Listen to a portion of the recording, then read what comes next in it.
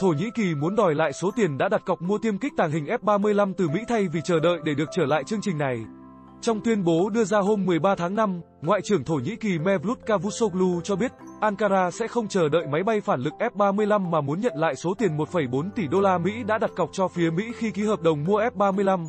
Chúng tôi muốn Mỹ ngay lập tức trả lại số tiền mà chúng tôi đã thanh toán một phần cho hợp đồng trước đó. Chúng tôi đang tự phát triển chiến đấu cơ cho mình mà không chờ đợi cái gật đầu đồng ý để Ankara trở lại chương trình F-35 của Mỹ, ông Cavusoglu nói. Cũng theo ông Cavusoglu, nước này đã thanh toán trước một phần hợp đồng thương vụ F-35 cho phía Mỹ với số tiền lên tới 1,4 tỷ đô la Mỹ. Nhưng Mỹ đã loại Thổ Nhĩ Kỳ khỏi chương trình F-35 sau khi Ankara mua hệ thống phòng không S-400 của Nga. Sau đó, Ankara đã nhận được lời đề nghị của Mỹ dùng chiến đấu cơ F-16 thế chỗ chương trình F-35. Nhưng đến nay, cả F-16 Mỹ cũng không muốn chuyển giao. Đây chính là lý do Ankara phải tự lo cho chính mình khi đẩy nhanh chương trình phát triển chiến đấu cơ tàng hình TFX. Theo thông báo của Cơ quan Công nghiệp Quốc phòng Nhà nước Thổ Nhĩ Kỳ SSB, hôm 18 tháng 3, TFX đã thực hiện thành công chuyến bay thử nghiệm đầu tiên. Theo tiết lộ của kỹ sư Temel Kotin của công ty hàng không vũ trụ Thổ Nhĩ Kỳ, Ankara sẽ chính thức trang bị TFX sau 4 năm nữa. TFX là dòng tiêm kích tàng hình thế hệ 5 sở hữu những công nghệ tối tân hàng đầu thế giới. Máy bay có khả năng chiến đấu tương đương Su-57 Nga và mạnh hơn F-35 Mỹ, ông Temel Kotin cho biết.